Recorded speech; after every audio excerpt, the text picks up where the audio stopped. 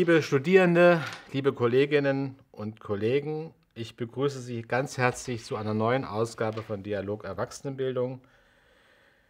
Der, der Vortrag ist überschrieben Die stumme und verkannte Misere der freiberuflichen Kursleiterinnen in der Erwachsenenbildung, warum es so schwierig ist, aus einer pädagogischen Tätigkeit einen Beruf zu machen. Hier können Sie die Agenda äh, sehen, die ich dann im Laufe des Vortrags Stück für Stück abarbeiten werde. Die Ausgangslage. In dieser Ausgabe von Dialog Erwachsenenbildung möchte ich den Blick zurückrichten.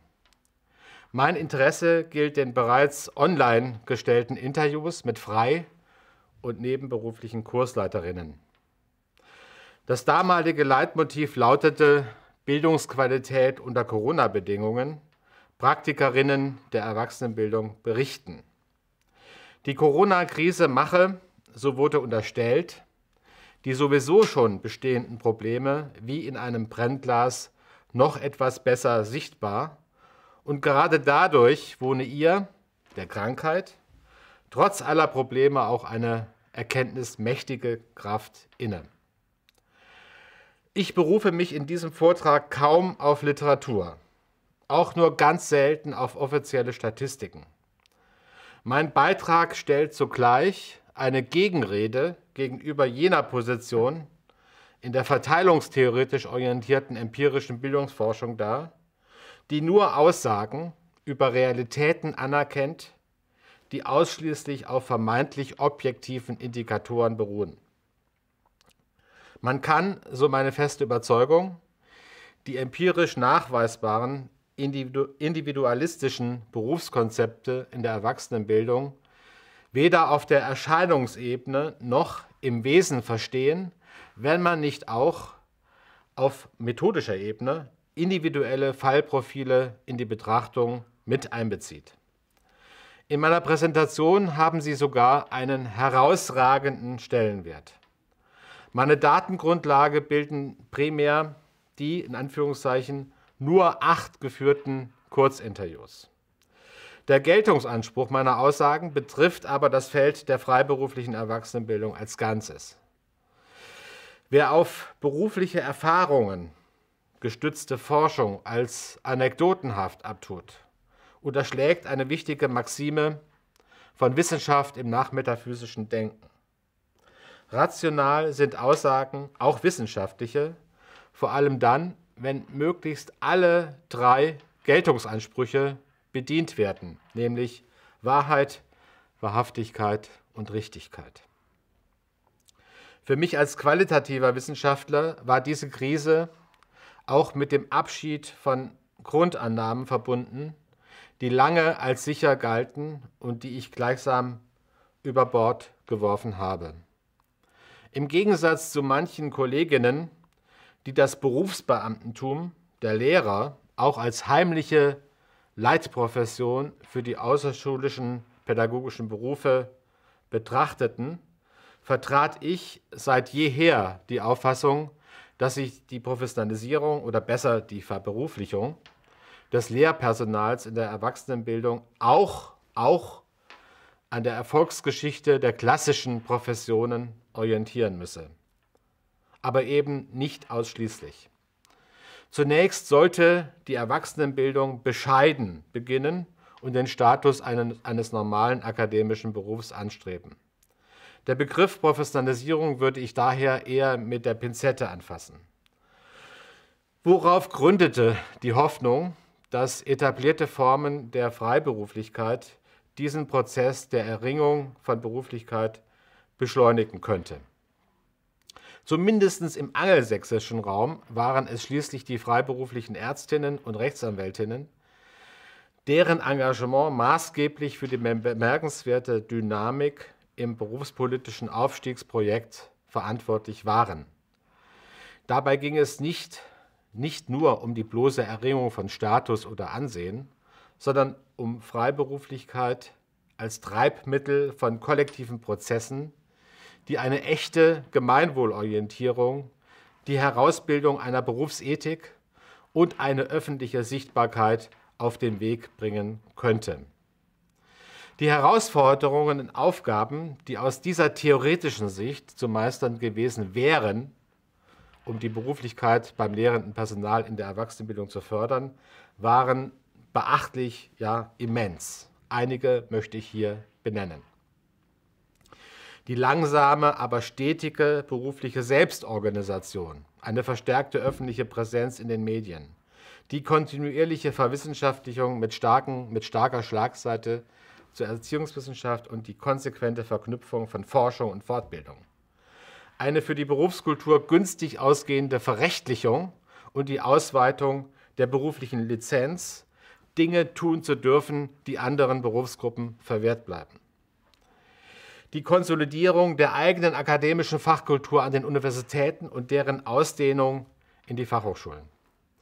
Die kluge berufspolitische Nutzung weiterer Pädagogisierungstendenzen, vor allem in der Privatwirtschaft, und die Herausbildung eines überdurchschnittlichen Leistungsethos und eine dialektische Beziehung zwischen den erweiterten Bildungsbedarfen in der deutschen Gesamtbevölkerung insgesamt, dem zunehmenden Ausbau der institutionellen Infrastrukturen und der stetigen Erhöhung der finanziellen Entlohnungschancen. Die allermeisten eben genannten und sicherlich nicht vollständigen Mechanismen haben nicht mal im Ansatz gegriffen. Der Stand der Verberuflichung des lehrenden Personals hinkt bekanntlich hinter der Professionalisierung des disponierend und planerisch tätigen Personals hoffnungslos hinterher. Eine erste Vorstellung, warum das alles nicht so recht funktioniert hat, vermitteln die von uns geführten Interviews. Aber nicht nur die Inhalte der geführten Interviews waren bemerkenswert, sondern auch die Hintergründe für die Teilnahme und, und die Nichtteilnahme.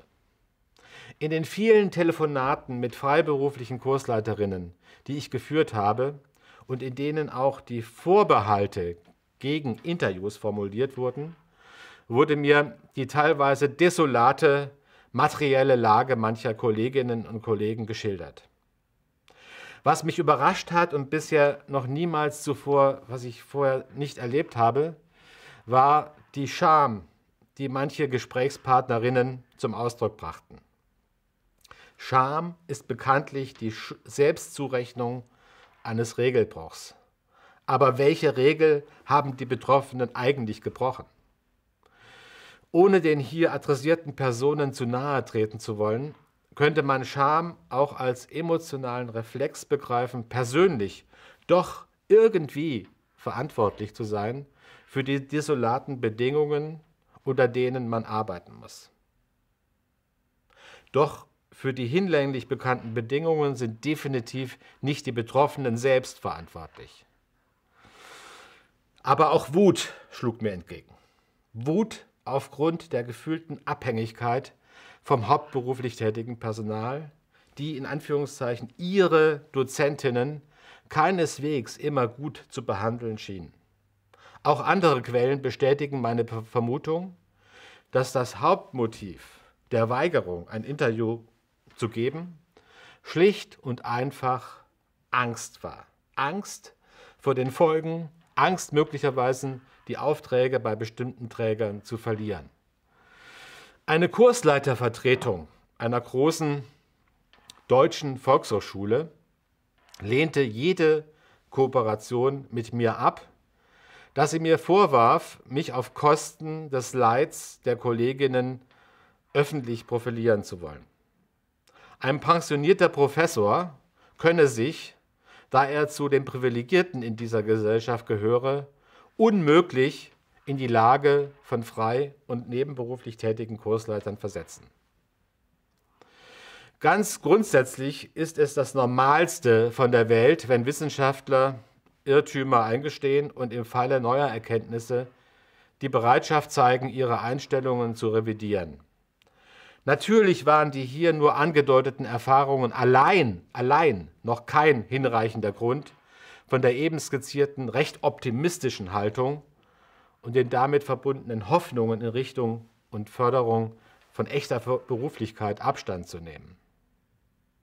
Schließlich hatte ich schon vor der Pandemie die Position vertreten, dass wissenschaftliche Untersuchungen über den Professionalisierungsbedarf von pädagogischer Arbeit allgemein sich auch mit den strukturellen Grenzen und vor allen Dingen mit den politischen Barrieren der Verberuflichung beschäftigen. So gesehen haben die hier angedeuteten Erfahrungen eigentlich nur etwas bestätigt, was zuvor bereits da war. Weniger die Interviews selbst, als vielmehr die Telefongespräche mit jenen, die von einer Teilnahme an den Interviews lieber absehen wollten, haben meine Haltung nachhaltig geprägt. Die Stärkung von Eigeninitiative die Förderung eines Chorgeistes und letztlich die Herausbildung eines schlagkräftigen kollektiven Subjekts scheint, von Mentalitäts- und Bewusstseinsstrukturen abhängig zu sein, die nur schwer zu beschreiben sind und die in bisher vorliegenden Untersuchungen und vor allen Dingen auch in eigenen Forschungen hoffnungslos vernachlässigt worden sind. Ich komme jetzt zum zweiten Punkt, und ich möchte in diesem Abschnitt einen kurzen Blick auf die Kursleiterinnen-Interviews werfen. Rufen wir uns noch einmal die Interviews aus beiden Staffeln in Erinnerung. Dabei kann, kann ich an dieser Stelle nur bruchstückhaft auf die Gespräche reagieren und kurz erwähnen, was ich im Nachhinein immer noch bemerkenswert finde. Das erste Interview wurde bewusst mit einer Pädagogin geführt, die mit behinderten Menschen arbeitet. Es zeigt, das Thema Inklusion ist mittlerweile auch in der Erwachsenenbildung angekommen. Maria Hauf, so heißt die Gesprächspartnerin, kommt von der Lebenshilfe Frankfurt. Sie rüttelt mit ihren Erzählungen an gewissen Selbstverständlichkeiten, zum Beispiel an der Unterstellung, dass heute jeder Mensch in unserem Kulturkreis entweder ein Smartphone, ein Tablet oder ein PC sein eigen nennen könne. Genau das kann, so Maria Hauf, bei Menschen mit einfacher oder mehrfacher Behinderung schlicht nicht erwartet werden. Es gäbe zwar Menschen mit Behinderung, die technisch hochgerüstet seien, andere hätten aber überhaupt keinen Zugang zur Digitalisierung. Zudem könnten viele Veranstaltungen, die eine Mobilisierung möglichst vieler Sinne anstreben würden, sticht gar nicht online stattfinden. Wie soll man eine Kräuterwanderung im Stadtwald oder das Anfühlen einer Birkenrinde im Gegensatz zur Erlenrinde technisch simulieren?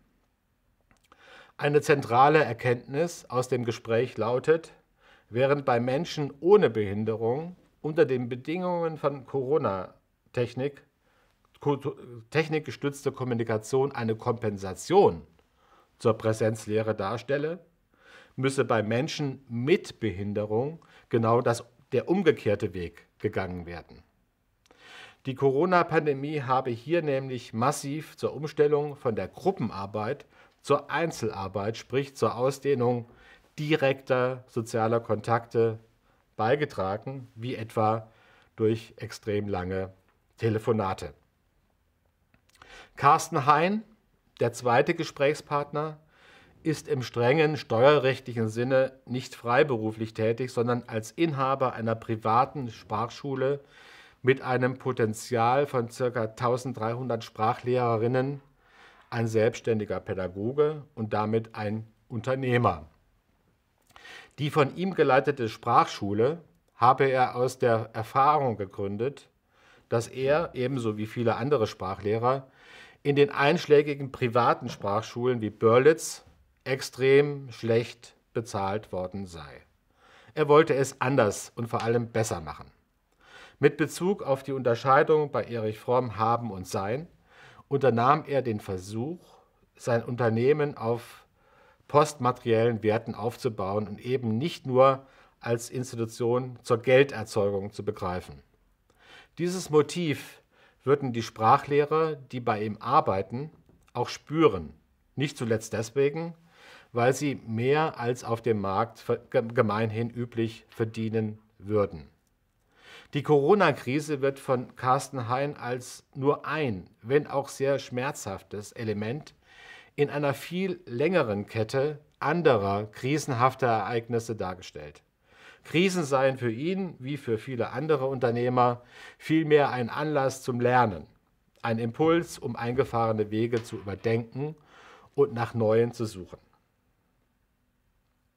Frau XYZ, das ist die einzige Interviewpartnerin, die anonym bleiben wollte, die auch nicht mit ihrem Gesicht zu erkennen war, weist auf den ersten Blick Ähnlichkeiten mit Herrn Hein auf.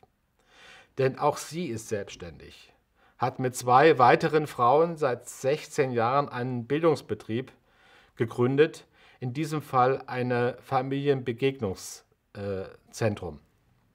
Alle drei Frauen betreiben das Unternehmen aber nebenberuflich, weil sie sich im Hauptberuf auf unbefristete Arbeitsverträge in nichtpädagogischen Bereichen stützen können. Der offizielle Status nebenberufliche Tätigkeit bildete den Ausschlag, dass vom Staat keinerlei Hilfs- oder Kompensationsgelder in der Zeit des Lockdowns flossen, sodass die drei Inhaberinnen alle anderen, alle Kosten, auch die Miete, aus eigener Tasche begleichen mussten. Das Ziel der Arbeit, Zitat, dass Kontakt, Nähe und Bindungen entstehen, konnten unter der, den Corona-Bedingungen nur bedingt oder gar nicht realisiert werden.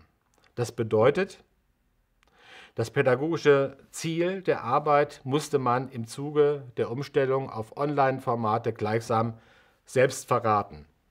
Dieses lautete, dieses Ziel lautete, die Kleinkinder und die Vorschulkinder vom Bildschirm wegzubewegen, wegzubekommen und die Mütter zu einer lebendigen Interaktion mit ihren Kindern zu bewegen. Kerstin Schulz stellt, da sie auf ein Masterstudium in Literaturwissenschaft und Russistik, Nebenfach Erwachsenenbildung, sowie auf ein Masterstudium in Deutsch als Fremdsprache blicken kann, eine hochqualifizierte Fachkraft dar. Ihr Beitrag vermittelt viele Detailinformationen, wie das lehrende Personal in Sprachkursen durch geschickte Praktiken trotz der Aufhebung der, der Präsenzlehre die hohe Qualität des Unterrichts aufrechterhalten konnte. Das Interview zeigt aber noch mehr. Es bietet ein Beispiel, wie eine hochqualifizierte pädagogische Fachkraft, die in der betrieblichen Bildung bei privaten Bildungsträgern an ausländischen Universitäten gelehrt und gearbeitet hat, Trotz eines beruflichen Aufstiegs, Frau Schulz ist mittlerweile im International Office einer Hochschule tätig, der Erwachsenenbildung, in diesem Fall der Volkshochschule, treu geblieben ist. Die Aufnahme einer beruflichen Tätigkeit an einer Hochschule hat Kerstin Schmitz nämlich nicht dazu bewogen, ihre Arbeit an der Volkshochschule gänzlich zu beenden. Die Art, wie Anke Mühling ihre erste Aussage. Zitat, ich bin Künstlerin und ich bin auch Lehrerin in meinem Atelier. Zitat Ende. Ausspricht, lässt keinen Zweifel aufkommen, welches berufliche Bild sie von sich selbst hat. Während für manche Personen die Freiberuflichkeit eine Art berufsbiografische Notlösung ist, scheint das von ihr vertretene Konzept zwischen der Lehrtätigkeit im Kunstatelier eigener künstlerischen Praxis und den Kursen in einer Einrichtung der Volkshochschule hin und her zu pendeln, gleichsam wie geschaffen zu sein. Es passt ihr persönlich wie angegossen. Der Lockdown, die Schließung des Kursbetriebs und die, wie sie sagt, Zitat, Anfang, Tränen in den Augen der Teilnehmer, Zitat Ende, haben Frau Mühling zu einer konsequenten Umstellung ihres Angebots motiviert. Zunächst habe sie mit ihren Teilnehmerinnen per Mail kommuniziert, um nach und nach immer mehr die VHS-Cloud äh, einzusetzen. Diese Umstellung hat sie zwar keineswegs freiwillig überzogen, vielmehr hat sie auf eine, äh, hat sie auf eine ganz elementare Beobachtung damit reagiert. Zitat Anfang. Es geht darum, diese Leute in der angstbesetzten Krise weiter zu begleiten. Zitat Ende. Sie also nicht allein zu lassen. Sie gehört zu jenen Personen, die mit der routinisierten Nutzung des Internets immer mehr die Vorteile dieses Mediums für sich entdecken konnten. Das fast schon verschüttete und sehr tief sitzende Ursprungsmotiv ihres Wirkens, das war ein humanitärer und politischer Impuls, trat verblüffenderweise ausgerechnet im Moment der Pandemie wieder explizit in den Vordergrund. Sieg Sigrid Münzberg hatte den Mut, im Interview vor laufender Kamera von den negativen gesundheitlichen Folgen der Pandemie zu berichten. Sie hat sehr konkret beschrieben, was die Leidensprozesse im Zusammenhang mit der Pandemie mit ihrem Körper gemacht hat. Auf eine unnachahmliche Weise gelingt es der ausgebildeten Schneiderin und Designerin, das Interesse an der Mode den kunsthandwerklichen Umgang mit Stoffen, mit den großen Fragen der Ökologie, der Gesundheit, ja sogar mit der Utopie eines guten Lebens zu verbinden. Ohne dass ihr dies möglicherweise bewusst ist, leistet sie mit ihrer kreativen Arbeit einen beachtlichen Beitrag zur Weiterentwicklung der politisch-ästhetischen Bildung und des exemplarischen Lernens. Dabei ist sie keineswegs auf die Erwachsenenbildung angewiesen, denn sie ist auch an vielen anderen Orten und sozialen Schauplätzen, etwa auf Messen oder auf großen Events, präsent. Ines Wilhelm, die ihr ursprüngliches Geschäftsmodell als Übersetzerin und Dolmetscherin durch ihre Tätigkeit an einer Vielzahl von Bildungsträgern beträchtlich erweitern konnte, berichtet, wie sie unter Corona-Bedingungen die von ihr bevorzugte Alltagsorientierung, also das bedeutet Besuche von Geschäften, Begehung von Bibliotheken und auch Museumsbesuche, nicht mehr umsetzen konnte. Auch Übungen auf dem Gebiet der Phonetik und der Intonation waren mit Maske schier unmöglich. Dennoch hat sie die Büchse nicht ins Korn geschmissen und vielmehr nach kreativen Wegen gesucht, auch unter den widrigen Bedingungen ihren Teilnehmerinnen ein optimales Bildungsangebot zu unterbreiten. Ihr Interview liefert ein ungemein detailliert, detailliertes Bild, wie Kursleiterinnen unter den Bedingungen der Corona-Krise mit ihrer mikrodidaktischen Kreativität und Improvisationsgabe die Malaise der Krankheit kompensieren konnten.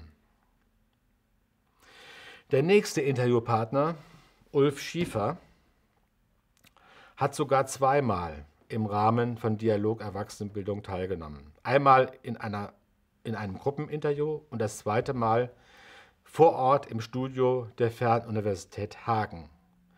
Dieser Aufwand erschien uns geboten, weil er aus meiner Sicht teilweise von so skandalösen Sachverhalten zu berichten wusste, die unter Marketing- und Qualitätskriterien eigentlich eigene Nachforschungen von Verbands- und Einrichtungsseite notwendig gemacht hätten. Genau das ist aber meines Wissens nicht geschehen. Ulf Schiefer hat in, in einer Berechnung nachgewiesen, dass lange vor der Ukraine-Krise die faktischen Honorarerhöhungen an Volkshochschulen hoffnungslos hinter den durch die Inflation eigentlich gebotenen Erhöhungen hinterherhinkt. Gerade die detaillierten Schilderungen von Ulf Schiefer sollten all die nachdenklich stimmen, die möglicherweise mit der Haltung, das, ist ja alles nur, das sind ja alles nur anekdotische Schilderungen, die hier angedeutete Misere abzutun versuchen. Hier berichtet nämlich eine Person, die über jahrzehntelange Erfahrungen zurückblicken kann. Jahrzehntelange Erfahrungen. Würde man nach einem maximalen Kontrast zu allen anderen Praktikerinnen suchen, dann wäre man bei Hendrik Peters wohl an der richtigen Adresse. Hendrik Peters ist ein junger, freiberuflicher Dozent mit eigenen Unternehmen, wobei er vor allem Techniken des agilen Arbeitens vermittelt. Seine Kunden kommen aus der Privatwirtschaft und lehrreich ist dieses Interview unter anderem deswegen, weil es zeigt, welche Strategien ein selbstständiger Pädagoge genutzt hat, um aus dem tiefen Tal der Corona-Pandemie zu gelangen. Letztlich war die pädagogische Freiberuflichkeit für Peters ein Feld der Bewährung, denn die von ihm an den Tag gelegte pädagogische Qualität bot einem internationalen Unternehmen ein Motiv, ihn gleichsam von der Volkshochschule abzuwerben und ihm eine Stelle in Barcelona anzubieten. Diese hat er dann schließlich auch angetreten. Silvia Poll, eine Spanisch-Kursleiterin, stellt in ihren Einlassungen sehr anschaulich das durch und durch ambivalente Verhältnis der Kursleiterinnen gegenüber der Volkshochschule dar. Einerseits sind sie hochgradig mit der, mit der demokratischen Grundidee der aufklärerischen Tradition der Volkshochschule als Institution verbunden. Andererseits werden sie immer wieder aufs Neue von der Volkshochschule als Organisation enttäuscht. So habe der neue Direktor der Hamburger Volkshochschule in einer Presseerklärung anlässlich eines Jubiläums zwar die hauptberuflichen Mitarbeiterinnen erwähnt und alle möglichen Daten, Zahlen und Fakten aufgezählt, die circa 1700 Kursleiterinnen aber schlicht vergessen. Ein anderes Beispiel, mit dem Frau Poll ihren Kernvorwurf einer mangelnden Wertschätzung und eines fehlenden Respekts der Organisation gegenüber den Kursleiterinnen belegt, hängt mit der Pandemie zusammen. Die nicht ganz unwichtige Information auf dem Höhepunkt der Corona-Krise dass die, dass die Kurse nicht stattfinden dürfen, haben eine Vielzahl der Hamburger Kursleiterinnen nicht von der Verwaltung der Volkshochschule erfahren, sondern sie wurden von ihren Teilnehmerinnen über den Kursausfall in Kenntnis gesetzt. Als Mitglied der Kursleitervertretung habe sie und ihre Kolleginnen gegenüber der Leitung der Einrichtung immer wieder auf die Wunde des fehlenden Respekts hingewiesen und darauf aufmerksam gemacht. Soweit die kurze Rekapitulation der Kursleiterinnen-Interviews. Ich komme jetzt zum dritten Punkt und hier versuche ich äh, eine Beschreibung zu liefern, also eine Beschreibung einiger ausgewählter Barrieren, also die Faktoren zu benennen, die einer Professionalisierung des freiberuflich lehrenden Personals entgegenstehen. wenden wir uns nun einer tieferen Problemdiagnose zu. Um die Hürden einer Verberuflichung zu erkennen, erscheint es wichtig, die Rolle der nachwachsenden Generation, die Sicht des hauptberuflichen Personals und die Perspektive der Träger sowie der, der Bildungspolitik getrennt voneinander zu behandeln. Die Leitfrage lautet, welche Barrieren stehen einer nachhaltigen Verberuflichung ähm, entgegen der freiberuflichen, des freiberuflichen Personals im Wege und verhindern die ersten sichtbaren Schritte. Als erste Unterkategorie oder als ersten Erklärungsversuch äh, wähle ich sozusagen die Überschrift die Wahrnehmung der Berufswelt der freiberuflichen Erwachsenenbildung durch die Studierenden eine Ansammlung von Singularitäten. Was meine ich damit? Und das werde ich jetzt erläutern.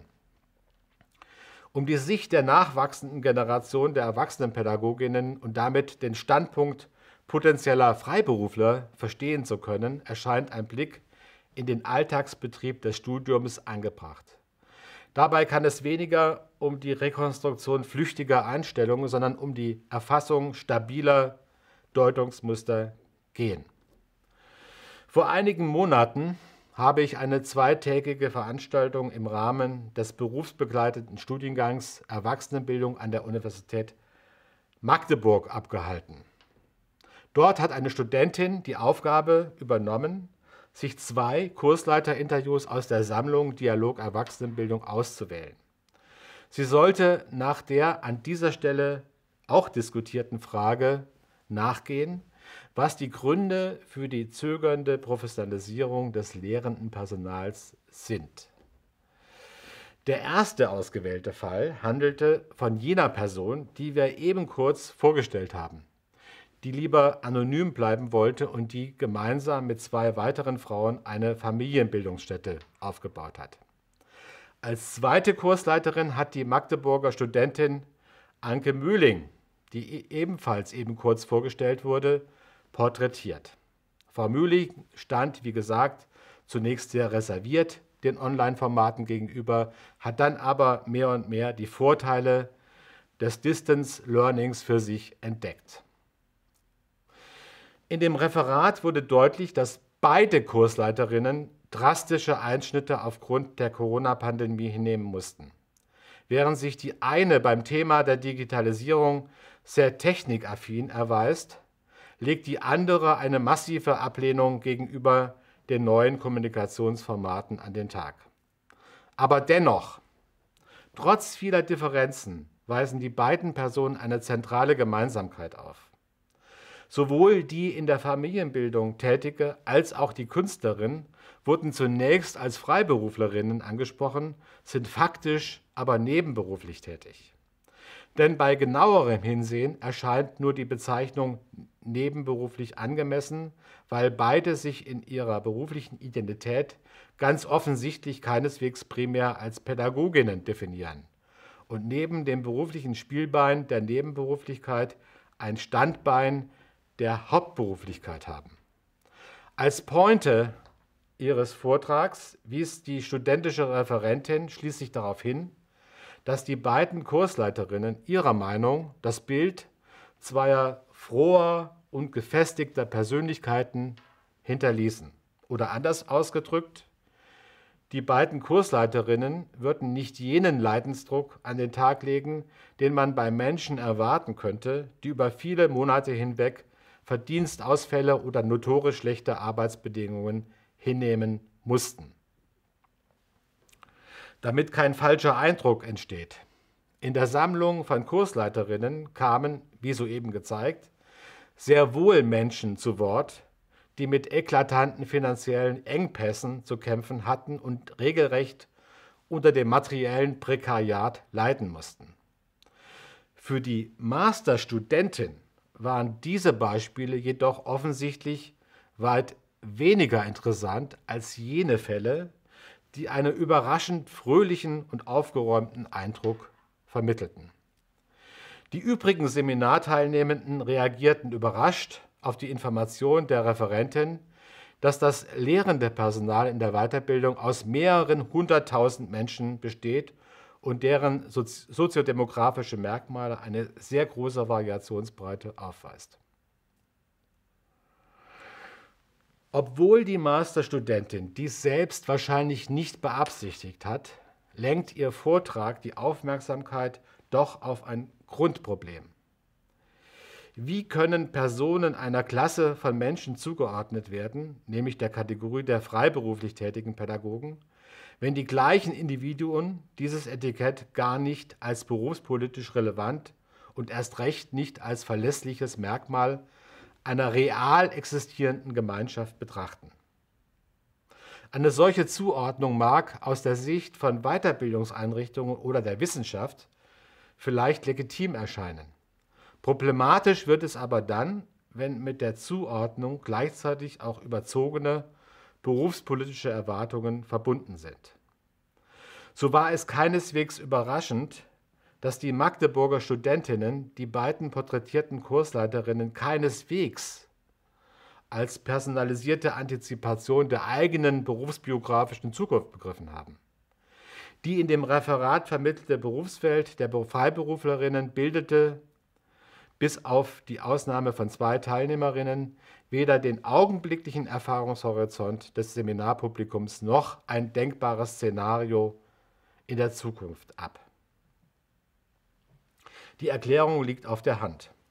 Zum einen setzt das Gros der Studierenden ihre Hoffnung auf eine Festanstellung und zum anderen verbinden die meisten Teilnehmerinnen mit dem kollektiven Prozess der Professionalisierung der Erwachsenenbildung kaum eigene Interessen. Vielmehr nutzen sie das Studium sowohl als individuellen Qualifizierungsschritt als auch dazu, den angestammten, den eigenen Berufszweig, also etwa das Hebammenwesen oder andere Bereiche des Gesundheitssystems oder die Erzieherinnenausbildung gesellschaftlich aufzuwerten und zu professionalisieren. Die Weiterbildung fungiert in diesem Zusammenhang als Medium der Verberuflichung und Verwissenschaftlung für ganz andere Berufszweige, ohne dass die wissenschaftliche Subdisziplin und die Berufskultur der Erwachsenenbildung von dieser Dynamik der Aufwertung anderer Berufe selbst profitieren würden. Weil die Studierenden in ihren beruflichen Selbstdefinitionen sich nach wie vor über ihren Herkunftsberuf definieren, haben sie mit der Verwissenschaftlichung Verrechtlichung der Erwachsenenbildung wenig im Sinn.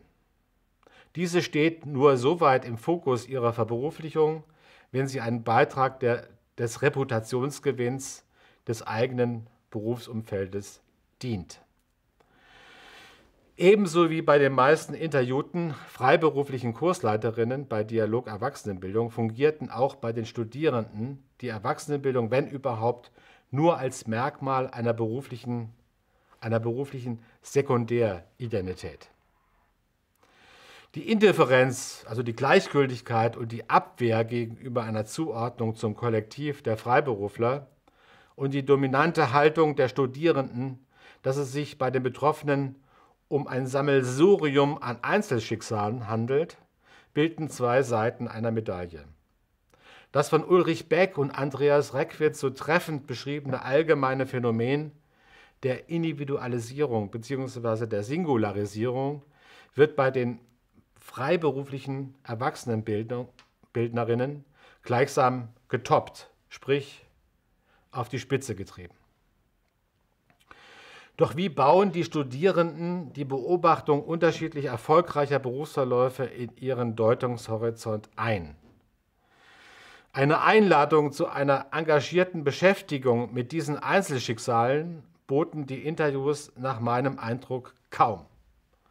Statt die im Seminar präsentierten Einzelfälle als Prototypen zu begreifen, mit denen man sich je nach persönlicher Fasson entweder identifizieren oder die man auch als abschreckende Beispiele wahrnehmen kann, scheint den Studierenden, um es metaphorisch auszudrücken, ein schwer überschaubarer Kosmos einzelner Kometen entgegenzutreten, entgegengetreten zu sein.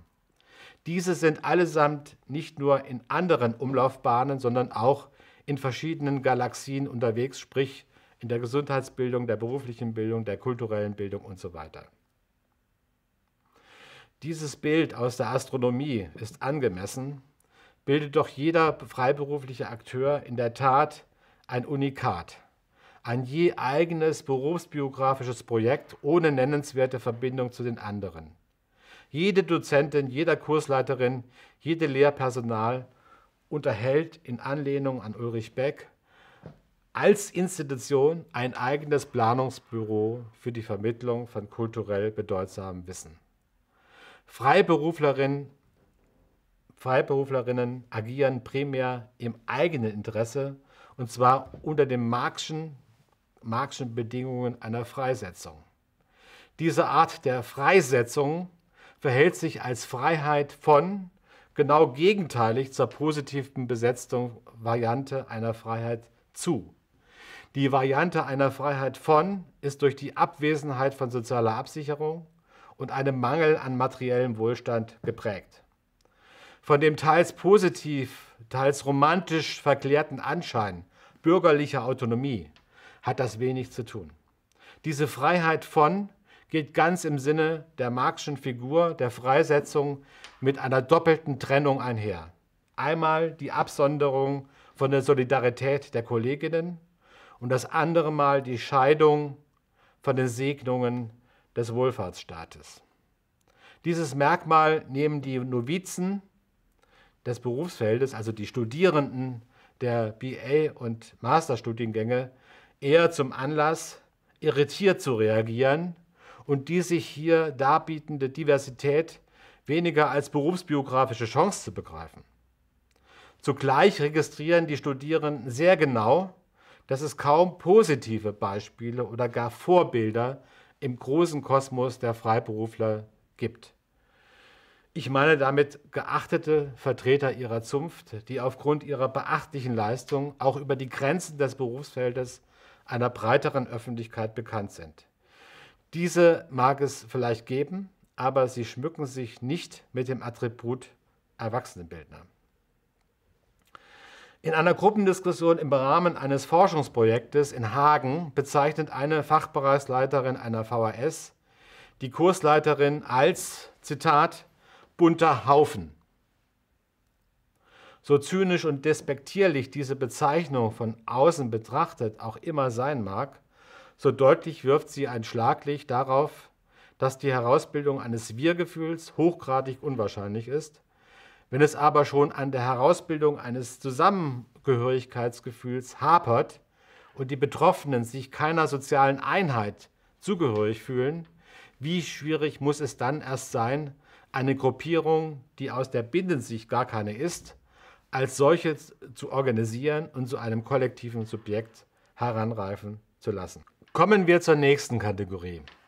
Die Passivität der, Hauptberu der hauptberuflich-pädagogischen Mitarbeiter, der Preis von sozialem Aufstieg, Fragezeichen, und die Indifferenz bzw. die Gleichgültigkeit der Bildungspolitik wenden wir uns dem nächsten Faktor zu, der eine zielgerichtete und nachhaltige Verberuflichung des lehrenden Personals blockiert.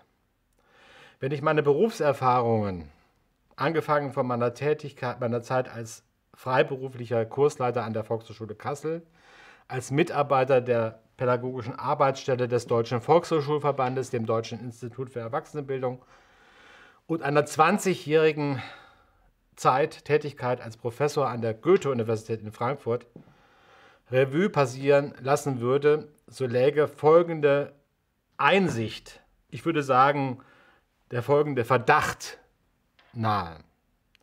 Nach meiner Einschätzung können die freiberuflichen Erwachsenenbildnerinnen aus einer kühlen, systemischen Sicht kaum mit einer Verbundenheit oder gar einer berufspolitischen Unterstützung seitens der hauptberuflich tätigen Mitarbeiterinnen, den Fachbereichsleiterinnen, den disponierend und planerisch tätigen Bildungsmanagern rechnen, obwohl so manche stille Hoffnung und Erwartung genau in diese Richtung weist. Bei den seltenen Protestaktionen von frei- und nebenberuflichen Dozentinnen sind die hauptberuflichen Kräfte mit einer Hand zu zählen. Dabei gilt es in Rechnung zu stellen, dass zumindest ein Teil der HPM, also der hauptberuflich pädagogischen Mitarbeiterinnen, selbst früher Kursleiter waren. Wenn deren Berufsverlauf weniger günstig verlaufen wäre, hätte auch aus dieser Gruppe der heute Arrivierten sehr leicht freiberufliche Kursleiterinnen werden können. Aus der Sicht der Berufssoziologie stellen Fachbereichsleiterinnen sofern sie früher selbst Kursleiterinnen waren, soziale Aufsteiger dar. Diese arbeiten tagtäglich mit Personen zusammen, die sie kontinuierlich an die eigene längst überwundene Vergangenheit erinnern. Damit wir uns richtig verstehen. In der Tat gibt es viele hauptberuflich tätige Mitarbeiterinnen, die ausgesprochen viel für ihre Dozenten tun. Sie behandeln diese mit Taktgefühl und Anstand und versuchen das Beste für ihre Dozentinnen herauszuholen. Das ändert aber nichts an dem Tatbestand, dass ihre aktiv sorgende Beziehung am Ende des Tages keine berufspolitischen Effekte hat. Die verstehende und fürsorgliche Haltung zahlt sich in den Arenen der Professionalisierung und des berufspolitischen Ringens um Geld und Macht nicht aus. Der statusbedingten Fremdheit in der Organisation steht eine berufsbiografische bedingte Vertrautheit gegenüber. Die hier angedeutete Ambivalenz wird manchmal dadurch gesteigert, dass die Kursleiterinnen, was die fachlichen Kompetenzen angeht, nicht selten einen Qualifikationsvorsprung gegenüber den viel besser bezahlten hauptberuflich tätig pädagogischen Mitarbeitern haben. Welcher Kursleiter, der als promovierter Musikhistoriker in die Anfänge der modernen Oper in der Zeit von Monteverdi Veranstaltungen anbietet, will sich von einem Laien, einem ausgebildeten Pädagogen, etwas sagen lassen. Was die mikrodidaktischen Befähigungen angeht, so verfügen viele HPMs zwar über viele bildungs- und lerntheoretischen Kenntnisse sowie bildungspolitisches Hintergrundwissen, sie stehen dem alltäglichen Kurs- und Unterrichtsgeschehen durch die Priorisierung der disponierenden managementbezogenen Schwerpunkte aber eher fern. Das ist der Grund, warum Sie im fachlichen Austausch mit den von Ihnen betreuten Kursleiterinnen nicht selten Schwierigkeiten haben, ihre spezifische Expertise in pers personelle Autorität umzumünzen. All die hier untergründig und offen wirkenden Differenzen und Dissonanzen lassen die Formierung gemeinsam geteilter Interessen und deren Vertretung als unwahrscheinlich erscheinen. Auch die Gewerkschaften und offenbar, sind offenbar nicht in der Lage, eine Brücke wechselseitig geteilter Interessen zwischen den makrodidaktisch tätigen, hauptberuflich pädagogischen Mitarbeitern und den mikrodidaktisch aktiven Kursleiterinnen zu schlagen. Ich wiederhole nochmals das strukturell systemische Argument. In allerletzter Konsequenz agieren die hauptberuflich tätigen Mitarbeiterinnen als Repräsentanten der Organisation und nicht als Bündnispartner des lehrenden Personals. Sie sind im Auftrag der Träger und der lokalen Einrichtungen tätig und von denen erhalten sie ihren monatlichen Gehaltscheck. Die Organisation ist primär daran interessiert, eine Auswahl von möglichst kompetenten Dozentinnen zu haben, die nicht allzu teuer sind, sodass sie ein möglichst breites Spektrum in, dem, in der Programmgestaltung abdecken können. Beim Blick auf die Verbände und die großen bildungspolitischen Akteure darf man sich nicht von den Selbstbeschreibungen in den Sonntagsreden täuschen lassen. Ja, ja, ich denke schon, dass es hier eine leichte Tendenz zur Heuchelei gibt. Unter tarifpolitischen Gesichtspunkten haben sie objektiv ein Interesse an, billigen, an billiger Arbeit. Unter Reputations- und Imageaspekten mag ihnen die Stundensätze selbst ein Dorn im Auge sein. Aber die Existenz der Organisation hängt eben nicht von ihrem Image, sondern von den fixen Personalkosten ab. Von daher dürfte die These nicht ganz falsch sein, dass die großen Träger und die großen politischen Parteien in Bezug auf ihre eigentlichen Interessen Krokodilstränen vergießen. Die Verbände, angefangen vom Deutschen Volkshochschulverband über die äh, katholischen Einrichtungen, die evangelischen Einrichtungen und wie sie alle heißen mögen, agieren auf der Vorderbühne empathisch und zeigen eine Rhetorik der Anteilnahme. In Wirklichkeit beschränken sie sich aus meiner Sicht nur auf eine abstrakte Solidarität. Denn faktisch tun sie nach meinem Wissen nichts, rein gar nichts, um die desolate Lage der Kursleiterinnen zu verändern. Unter ökonomischen Gesichtspunkten, und das ist der Fokus, der in den letzten Jahren immer wichtiger geworden ist, profitieren die Institutionen massiv von, notorisch, von den notorisch niedrigen Honoraren. Keineswegs hinter vorgehaltener Hand, sondern ganz offen hat mir eine Bildungspolitikerin und früheren, äh, frühere Leiterin einer großen Bildungseinrichtung Folgendes gesagt. Seien wir doch ehrlich, Herr Nittel, wären Sie nicht auch sofort bereit, wenn Sie nur richtig für ein Thema brennen, einen Volkshochschulkurs auch ohne Honorar zu bestreiten. Hinter dieser Aussage versteckt sich das Deutungsmuster, dass ein Teil der Dozenten und Kursleiter ihre Vermittlungstätigkeit zum Zwecke der Selbstverwirklichung und weniger zum Broterwerb verrichten. Die geringen Honorare also letztlich moralisch gerechtfertigt sind und es sogar intrinsisch veranlagte Personen geben würde, die umsonst eine Dozententätigkeit ausführen würden. Das ist nur ein unterschwellig virulentes, unterschwellig virulentes, aber durchaus orientierungsmächtiges Deutungsmuster unter Bildungspolitikern. Ich komme jetzt zum vierten, äh, vorletzten Punkt meines Vortrags und hier beschäftige ich mich weiter, noch detaillierter mit den strukturellen Begrenzungen auf dem Weg zu einem, in Anführungszeichen, normalen, Anführungszeichen, pädagogischen Beruf. Im letzten Abschnitt dieses Vortrags soll die mit der Überschrift verbundene Kernbotschaft unter dem Eindruck des Gesagten noch einmal zugespitzt werden. Zugleich soll die pessimistische Lesart wiederholt werden, dass die Begründung für die begrenzte Professionalisierungsfähigkeit um ein Vielfaches leichter fällt als der Nachweis von Erfolgen im immerhin jahrzehntelangen Bestreben einer ambitionierten Verberuflichung. Die fehlende soziale Kohäsion, also der fehlende soziale Zusammenhalt und der Mangel an Wir-Gefühl in der Gruppe der Freiberufler hat einen sozialstrukturellen Resonanzboten.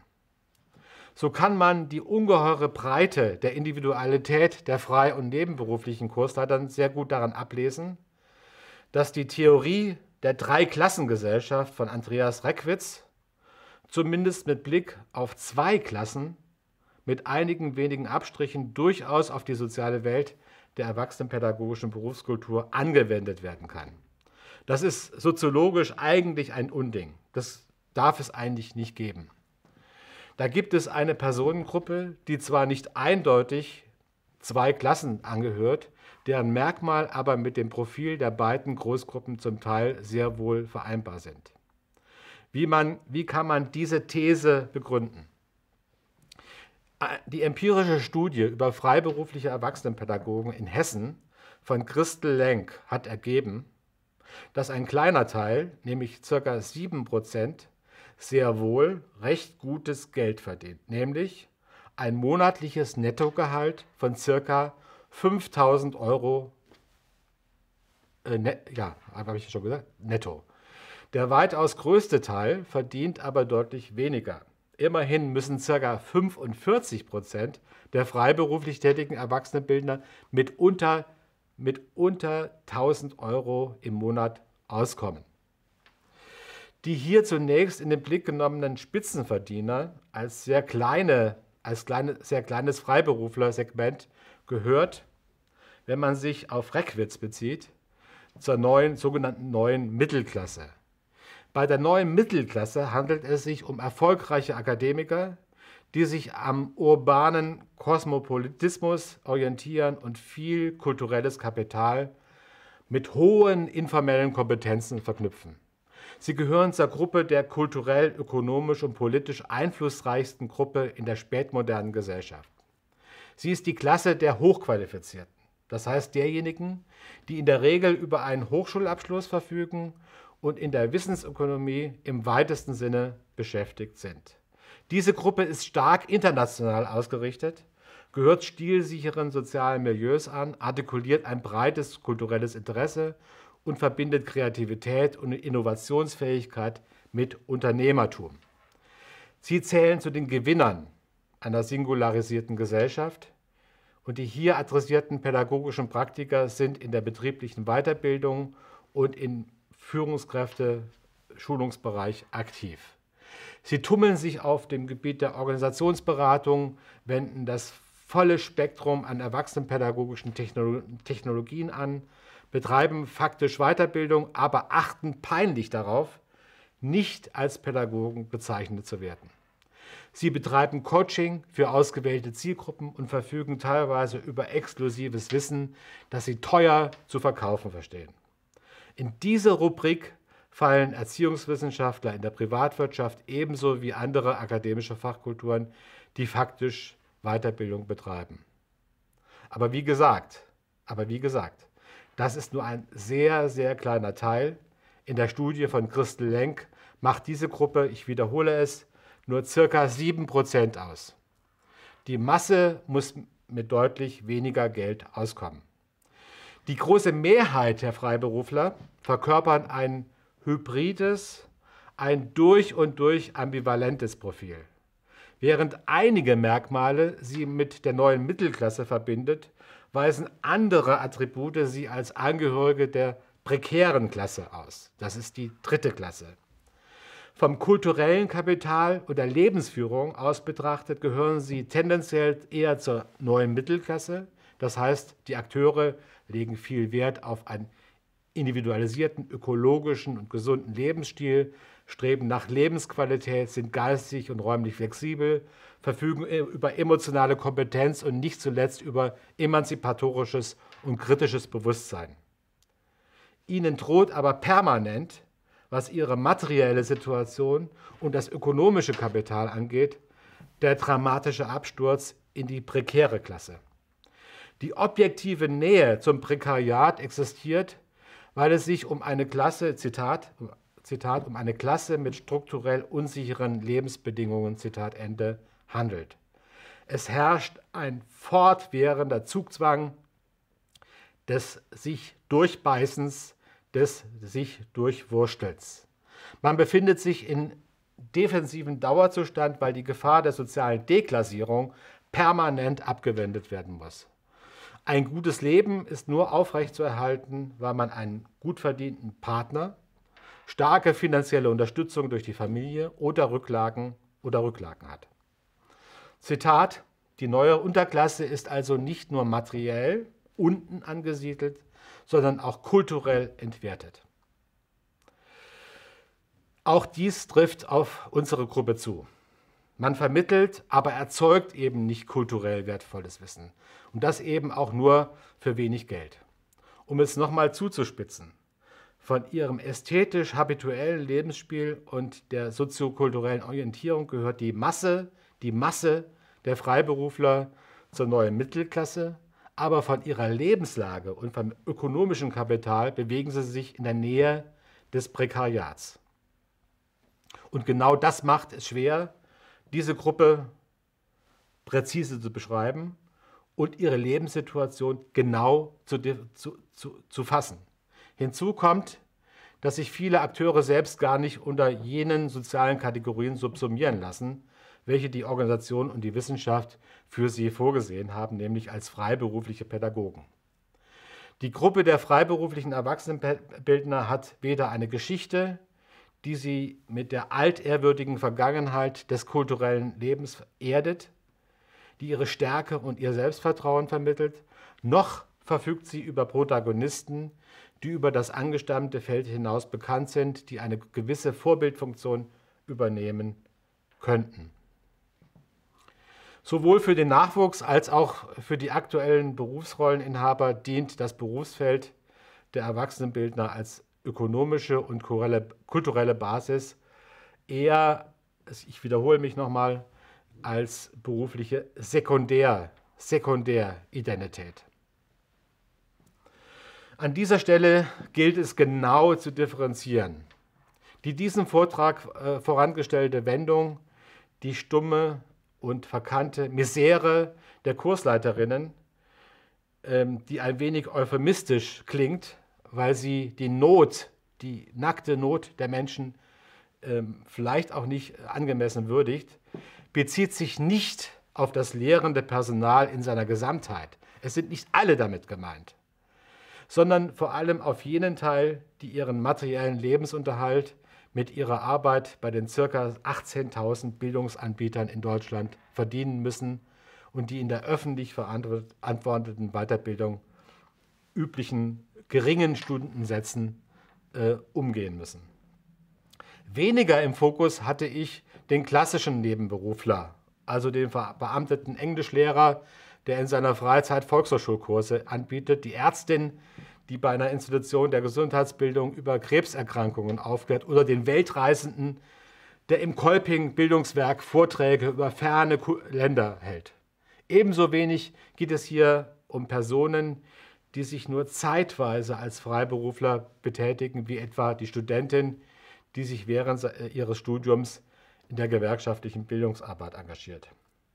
Hierzu passt die Aussage eines Kursleiters einer großen Volkshochschule, ich werde, ich werde da, Zitat, ich werde das in der Volkshochschule sowieso nur ganz kurz machen. Nach meinem zweiten Staatsexamen werde ich eh verbeamteter Gymnasiallehrer. Zitat Ende. Aber es werden, so möchte ich diese Aussage vervollständigen, eben nicht alle Kursleiterinnen, Lehrerinnen und viele sind eben nicht auf dem Weg zu einer festen Stelle. Diesen gleichsam zurückgelassenen Personenkreis adressiert mein Vortrag.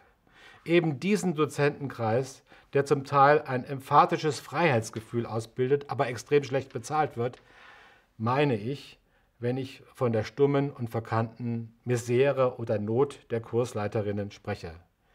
Die Signale aus der Praxis wissenschaftlicher Erhebungen, etwa aus dem Umkreis von Rolf Dubischat und gewerkschaftliche Expertisen vermitteln hier ein eindeutiges Bild.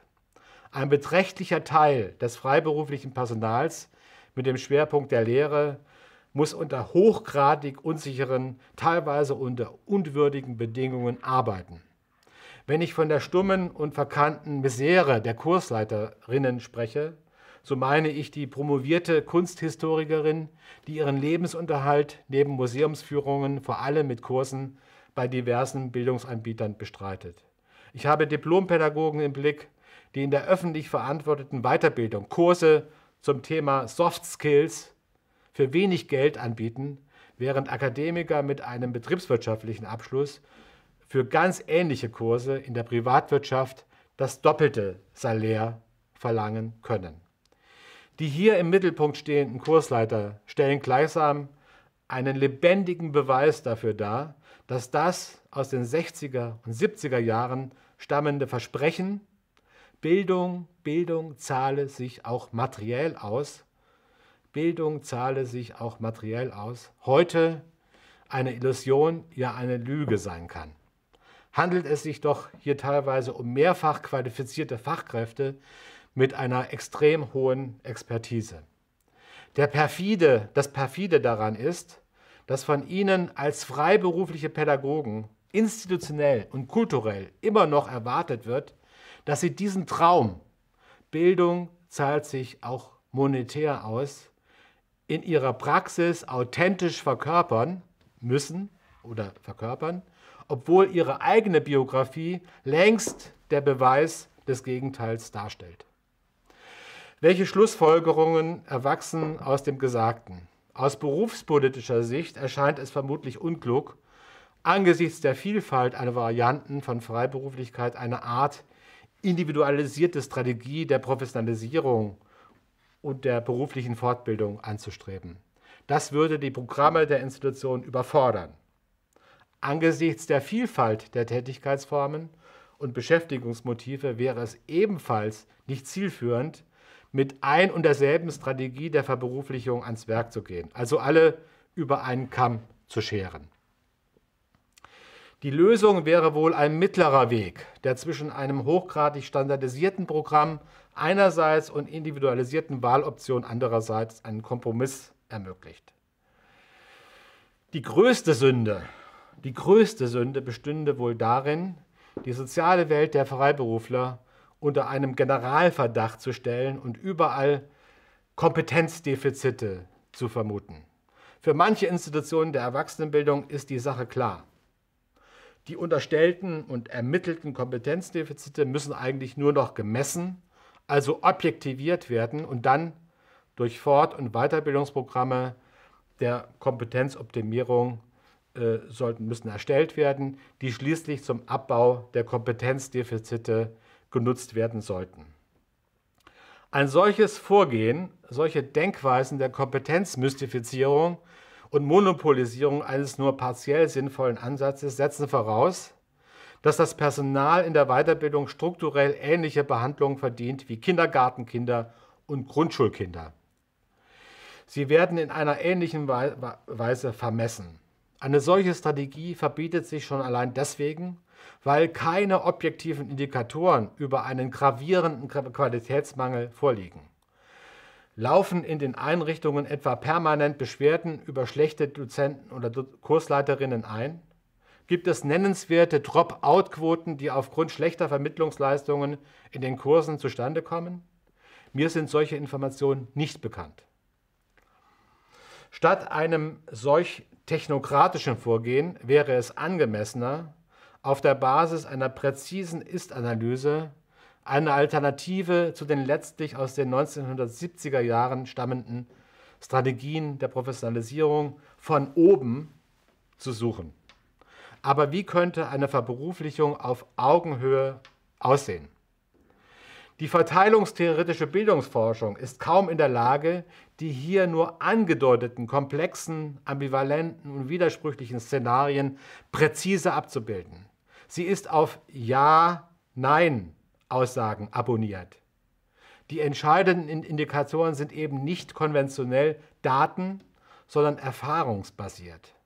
In diesem Zusammenhang mutet es befremdlich an, dass sich wissenschaftliche Einrichtungen erdreisten, das Erleben von Kursleiterinnen über soziodemografische Raster statistisch abbilden zu wollen, so als hätte es einen, den, den Weg, Wegbereiter der geisteswissenschaftlichen Pädagogik Wilhelm Dilthey nicht gegeben. Dieser hat nachweisen können, dass das Erleben, die Erfahrung auf eine Gestalt und auf Zusammenhänge gerichtet ist und dessen, deren Rekonstruktion die Trias Erleben, Ausdruck, Verstehen beinhaltet. Statt mit dem nomothetischen Paradigma etwas erklären zu wollen, um dann berufspolitisch in eine bestimmte Richtung steuernd einzugreifen, müsste es mit dem hermeneutischen Paradigma zunächst einmal darum gehen, die komplexe und vielschichtige Situation und die Menschen, die in dieser Situation handeln, zu verstehen. Das ist bislang aber noch nicht geschehen. Die grundlagentheoretische Ausrichtung der Forschung hat faktisch eine sehr große Signalwirkung gegenüber jenen, die beforscht werden. Sie zeigt dem Gegenüber, welches Menschenbild zugrunde liegt zu, zugrunde gelegt wird. Die technokratisch orientierte empirische Bildungsforschung tritt dem Feld mit, mit Beobachtungskategorien gegenüber, die kaum etwas mit den Selbstdeutungen der untersuchten Personen zu tun haben. Die Forscher neigen dann von der Existenz einer sozialen Einheit auszugehen, die sich selbst gar nicht als solche definiert. Wie sehe, wie sehe die Alternative aus? Wichtig wäre zunächst einmal über Forschung die Sichtbarkeit von frei- und nebenberuflicher Arbeit in der Erwachsenenbildung zu erhöhen, den Praktikerinnen mit dem nötigen Respekt entgegenzutreten. Ich weiß allzu gut, dass man dabei einerseits allzu leicht parteiisch, ja sogar verbrüdernd oder andererseits vielleicht auch viel zu distanziert und kühl auftreten kann. Einen gesunden Mittelweg zu finden, ist ausgesprochen schwierig. Welche Chancen und Grenzen in der Berufsentwicklung des lehrenden Personals liegen, wird maßgeblich davon abhängen, wie man seitens der Träger der Einrichtungen und seitens der Wissenschaft dem Feld der freiberuflichen pädagogischen Praxis entgegentritt. Ob man es mit subtilen Defizitunterstellungen versieht und unter Zugrundelegung technokratischer Kompetenzmodelle Fortbildungsbedarfe ausfindig macht, um diese dann vielleicht sogar als Einnahmequelle kommerziell zu nutzen oder ob man ein partnerschaftliches Vorgehen wählt, ohne der Praxis erklären zu wollen, was gute pädagogische Arbeit ist. Wie auch immer, ein, ein Weiterge wie, es, wie auch immer es weitergehen mag. Individuelle Professionalisierung muss sich lohnen. Das bedeutet, dass das Erklimmen eines formal nachweisbaren höheren Qualifikationsniveaus sich auch in Euro und Cent auszahlen muss. Bislang, bislang hat es die Forschung verpasst, den Nachweis zu erbringen, dass sich die Organisationen und die Träger der Weiterbildung aus systemisch struktureller Sicht im Kern parasitär von den lebensweltlichen Ressourcen der freiberuflich tätigen Mitarbeiterinnen ernähren. Diese Aussage meine ich wortwörtlich. Wenn man aufmerksam in den Interviews mit den freiberuflichen Erwachsenenpädagogen hinhört und diese genau auswertet, so stellt man fest, dass sie die geringen finanziellen Entgeltchancen, mit denen sie häufig zu rechnen haben, vor sich selbst und anderen in der Weise legitimieren, dass sie sich mit ihren Teilnehmerinnen verbunden fühlen, dass sie diese nicht alleine lassen wollen oder dass es ihnen vor allem um den Gegenstand der Vermittlung um seiner selbst willen geht. Oder anders ausgedrückt, mit der Vermittlung der englischen Sprache, mit der Weitergabe von Hintergrundinformationen über die italienische Oper, mit der Vermittlung von Praktiken zur eigenständigen Reparatur von Haushaltsgeräten, mit der Durchführung eines Kochkurses über die alte Wiener Küche verbinden die freiberuflichen Kursleiterinnen nicht selten eine Passion. Trotz aller organisationaler Widrigkeiten können sie sich in und durch die Arbeit mit Menschen, die freiwillig zu ihnen kommen, persönlich verwirklichen.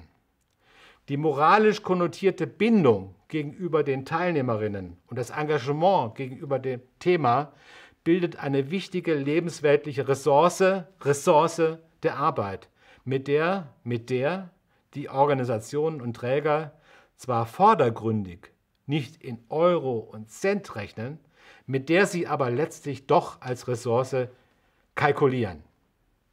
Hier wird in der Sprache von Jürgen Habermas eine lebensweltliche Ressource unter wirtschaftlichen Imperativen für systemische, sprich für ökonomische Zwecke ausgenutzt und eine Kolonialisierung von Berufsbiografien betrieben. Diese Konstellation des parasitären Anzapfens lebensweltlicher Ressourcen in den Berufsbiografien bindet, äh, findet sich im Übrigen auch in der Elementarpädagogik, also im Kindergarten oder im Bereich der gesundheitlichen Pflege. Sie wird aber selten offen ausgesprochen. Ja, man hat schon fast den Eindruck, auf ihr lastet ein Tabu. Dieses Tabu gilt es durch Forschung, dieses Tabu gilt es durch Forschung zu durchbrechen. Ich komme jetzt zu meinem Schlusswort. Bei alledem, was äh, bisher gesagt worden ist, wollen wir natürlich die Kirche im Dorf lassen. Die hier erfolgte Darstellung der Fehleinschätzung eines einzelnen Forschers ist als solche sicherlich zu vernachlässigen. Letztlich, und diese Mitteilung ist unmittelbar anschlussfähig an das bisher Gesagte, darf die Bedeutung von Wissenschaft im Prozess der, der Beruflichung nicht überschätzt werden. Ein vorwiegend akademisch geführter professionstheoretischer Diskurs war über viele Jahre, war über viele Jahrzehnte hinweg eine Art billiger Ersatz für eine Berufspolitik, die schlicht nicht existierte. Die Institutionen, die sich angeblich um die Wahrung der Interessen von freiberuflichen Erwachsenenbildern kümmern, hier sehe ich Verdi, die GEW und den BVPET, könnten in Zukunft viel mehr miteinander kooperieren und landes- und bundesweite, und bundesweite Veranstaltungen zum Thema anbieten. Ob sie dabei den Kontakt zur Wissenschaft suchen, hat eher eine symbolische Bedeutung die letztlich auf die 1970er Jahre des letzten Jahrhunderts zurückgehende Erwartung, dass die Argumente der Wissenschaft a. von der Politik gehört und b. zur Legitimation von Reformen genutzt werden, wird mit Sicherheit auf keine positive Resonanz stoßen. Da kann die Wissenschaft von der Warte des außenstehenden Beobachters noch so viel etikettieren, attribuieren und kategorisieren. Sie kann noch so viel auszählen und rechnen. Wenn die betroffenen Menschen das Heft des Handelns nicht in die Hand nehmen und sich als kollektives Subjekt konstituieren, wird aus der pädagogischen Tätigkeit eines, einer, eines freiberuflich Lehrenden niemals ein ehrenwerter akademischer Beruf.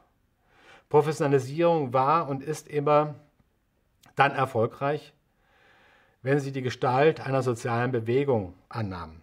Aber von einer solchen sozialen Bewegung sind wir noch weit entfernt. Im Gegensatz zu den 1970er Jahren sind wir heute Zeugen, wie die verschiedenen Bildungsbereiche immer mehr miteinander kooperieren, aber auch voneinander abhängig sind, sodass die Formen der Arbeitsteilung nicht nur aus der erziehungswissenschaftlichen Beobachterperspektive, sondern auch aus der beteiligten Perspektive immer klarer hervortreten. Das sich vor unseren Augen formierende pädagogisch organisierte System des lebenslangen Lernens verlangt eine abgestimmte Strategie der Verberuflichung. So wie sich auch die einzelnen Ärztegruppen nicht für sich, sondern nur im Konzert mit anderen Ärztegruppen professionalisieren konnten, so werden auch die pädagogischen Berufsgruppen nicht gegeneinander, sondern nur miteinander nachhaltige Verbesserungen im beruflichen Status in der Reputation und letztlich auch in der Bezahlung erzielen. Hier sind die Parallelen zur Politik unmittelbar greifbar. Niemand käme auf die Idee, im europäischen Kontext nationale Einzellösungen als erfolgsversprechend anzupreisen.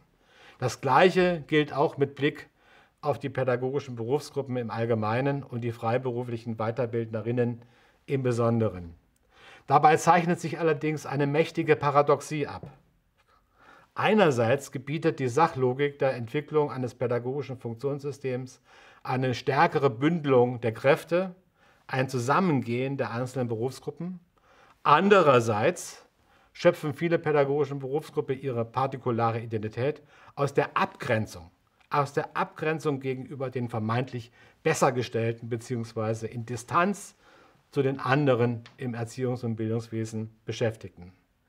Sofern sich weiterhin die Erwachsenenbildnerinnen von den Lehrern und die Hochschullehrerinnen von den Erzieherinnen in der gewohnten Weise abgrenzen, gilt das alte römische Gesetz, divide et impera, auf Deutsch teile und herrsche.